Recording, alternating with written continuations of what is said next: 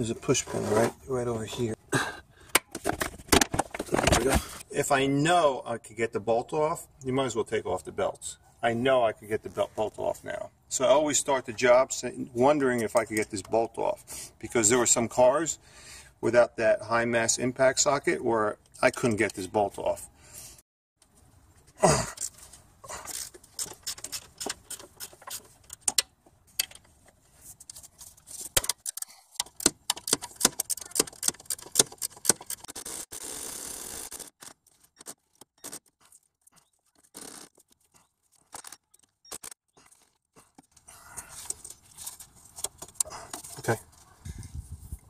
So I'm using this high mass 22 millimeter impact socket with this recently purchased on sale cheapo OEM half inch impact driver.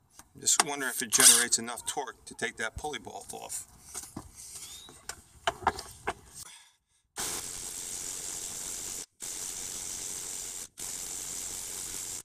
Nope. That didn't work, so now I'm using this cheapo Northern Tool AC electric impact tool.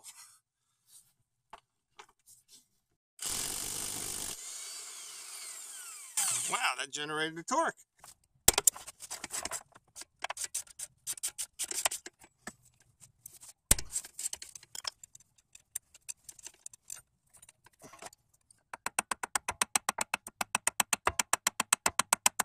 Take this belt out now.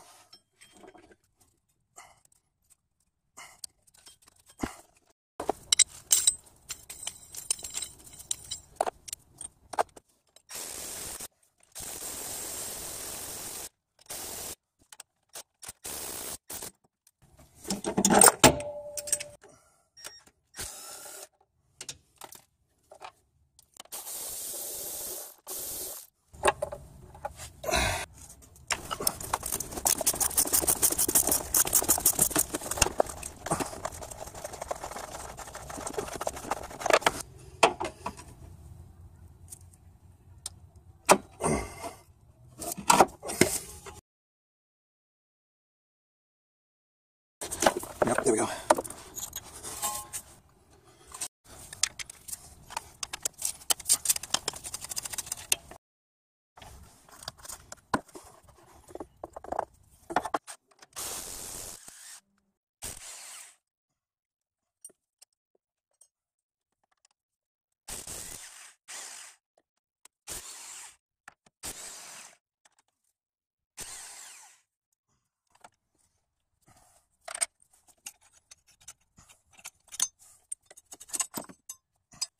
By the way, this mo side motor mount has to be uh, replaced. See that crack? Now, let's see if this thing is... Okay, this is rusted in place.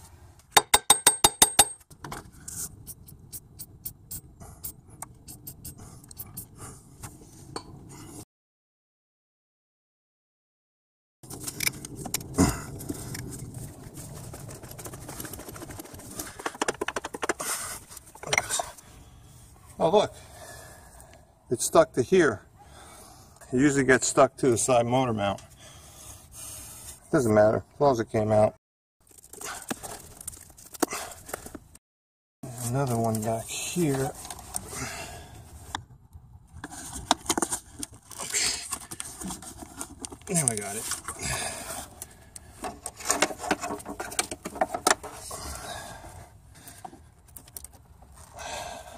Now we got some room.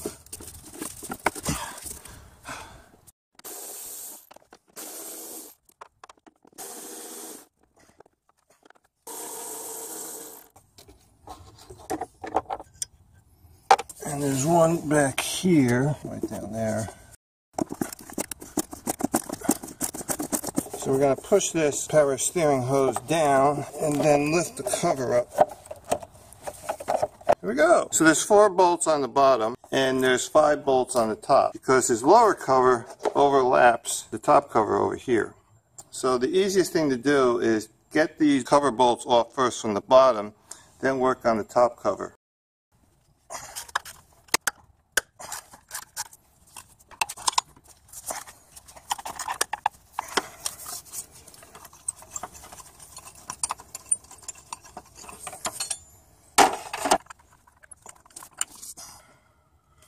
I'm going to take this bracket off.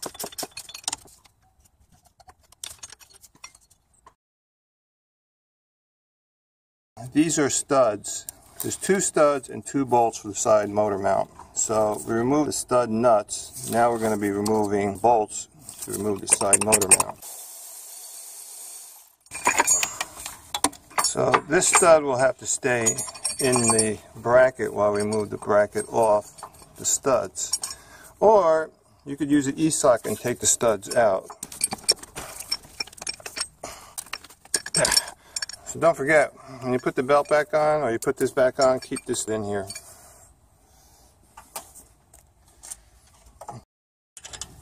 Alright, we're going to move the crankshaft to top dead center. So we put the crankshaft bolt back in place. Just slightly torque it down.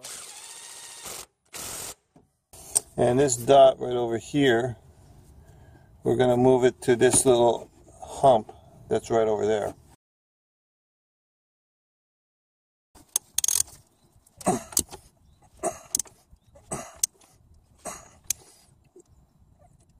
Okay, now we go top side and see if the camshafts on the line. And this little notch lines up with this little groove right up here.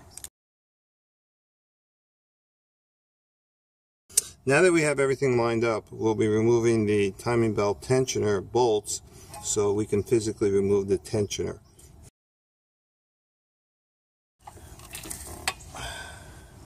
Now we have to move the bracket down to get to the other bolt.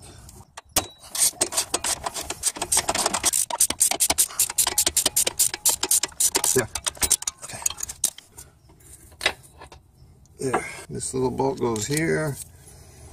And we got a long bolt that goes over here. Alright, so I'm going to remove the belt starting from the, the tensioner pulley.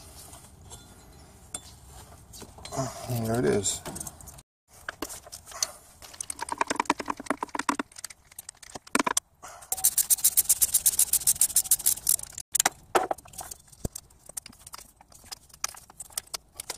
See that washer?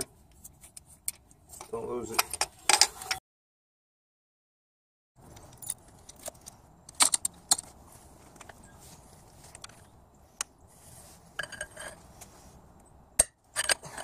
Come on, easy.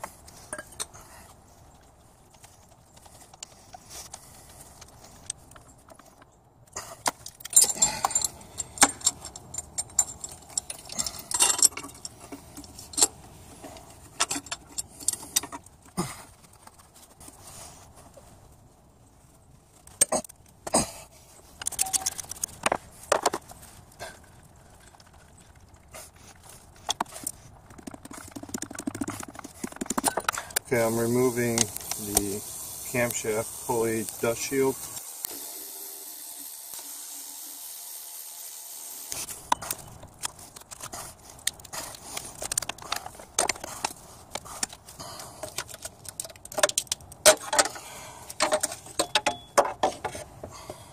Remove that from here. There's no oil seepage yet from the cam seals, but we're going to replace it anyway.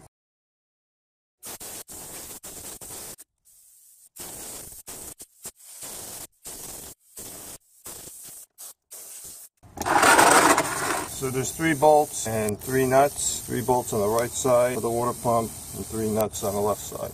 Okay, we're relieving the pressure on the cooling system by removing the cap. Now we'll break the seal on the water pump.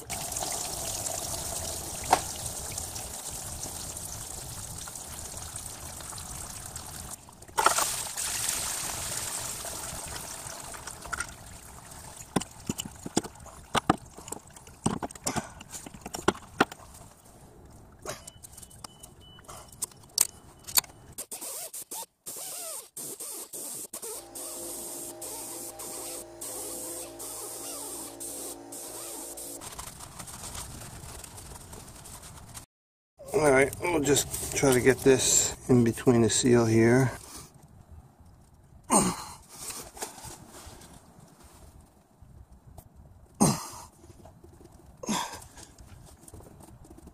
Oh, man, that was in tight.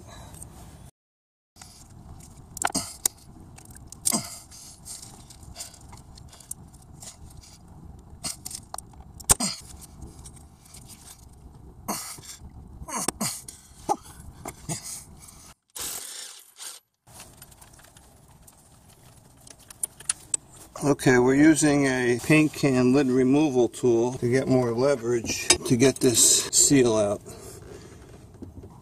Ah, there we go. So here are the two cam seals. This is the crank seal. We're going to coat it with silicone and set it in place before we push it in. So we're using silicone grease, also referred as plumber's grease and dielectric grease.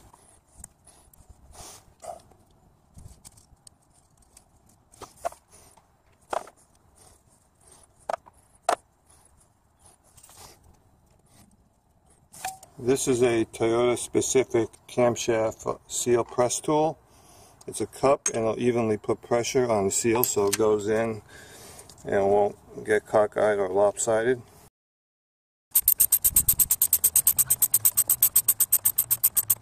Alright, we're flush.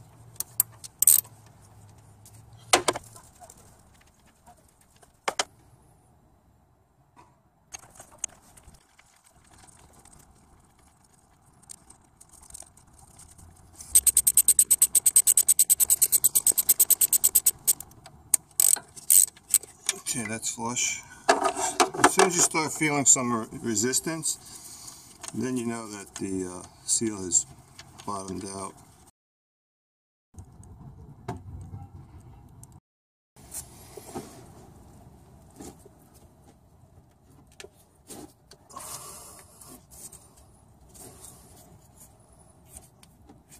Okay, that looks, that feels seated.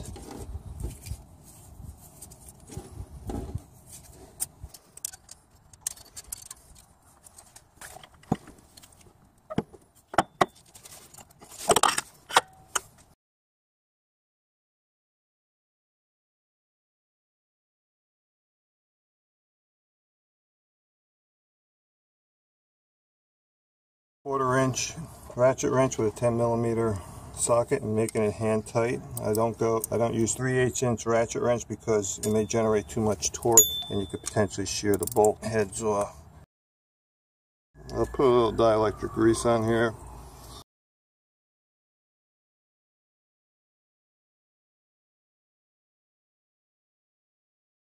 I'm going to put a little paint mark right here. We're doing this so that we have an easier time visually lining up the camshaft sprockets with the backing plate.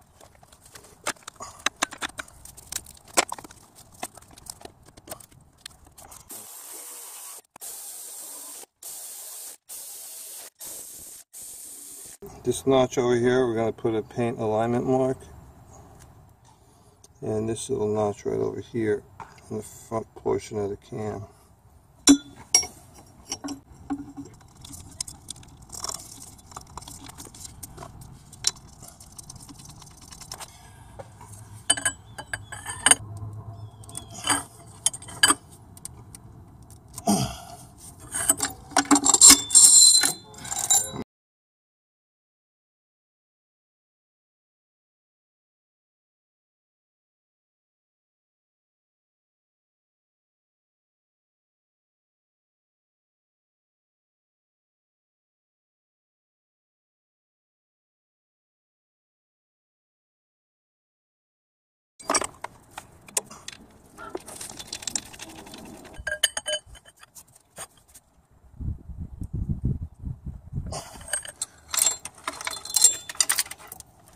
So we align this slightly to the left of the backing plate mark so we can mount the belt on easier. Then once the belt is on, then we'll move it clockwise so that we relieve the slack. This tensioner pulley is for a 1MZ. What we're replacing the pulley on is a 3MZ, so we're just going to transfer the pulleys.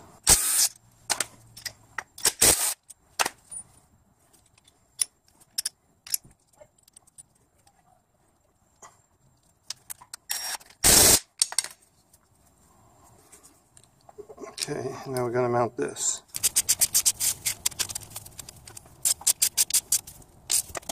A new belt. This is the belt direction, which is that away. This is alignment for the right camshaft. This is for the left camshaft. So we'll mount the back or the left camshaft first. I'm going to use this clip to prevent the belt from popping off. Because the right camshaft has been moved slightly back, it was very easy to mount this belt with the alignment mark. Now that the belt's on, we'll move the camshaft slightly forward to remove this slack. Okay, so the removal of the slack, the camshaft sprocket is in perfect alignment with the, the mark on the backing plate. Now we'll move the crankshaft one counterclockwise to the left to ease installation of the belt. Put the belt over the water pump. Got it over the crankshaft. Now let's see if I got enough slack to get it over the tensioner pulley, which I do. Okay, here we go. See all this slack? When I move it clockwise, I remove the slack off the belt. Now we're going to put this little bracket in here. That prevents the timing belt from slipping off. Okay, now if I move the crankshaft clockwise, it'll tighten the belt up. There's no more slack on this side. Now we'll put on the timing belt tensioner, but we got to compress the center pin. Alright, so we'll mount it right here on the edge.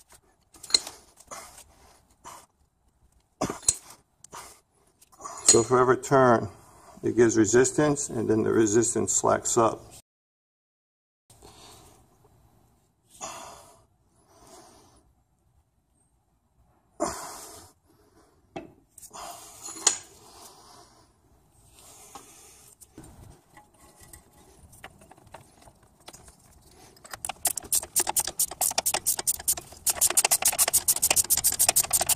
I gotta get this lever up.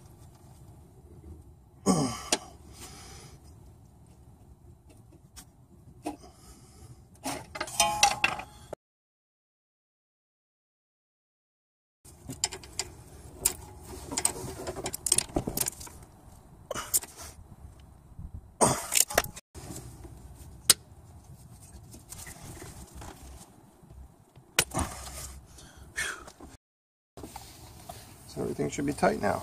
See that?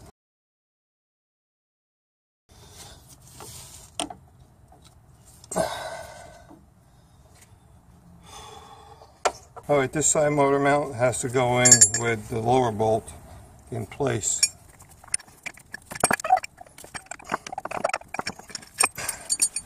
Now we can put this bolt in.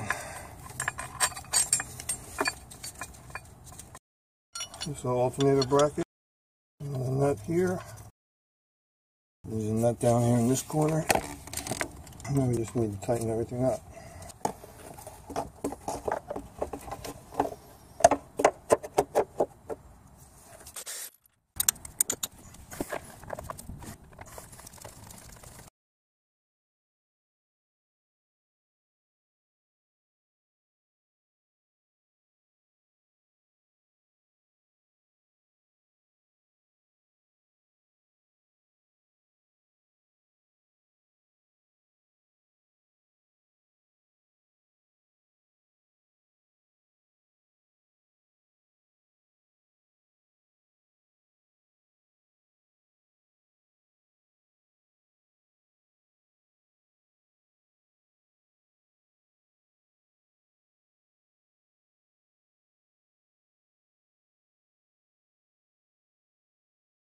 And we're done.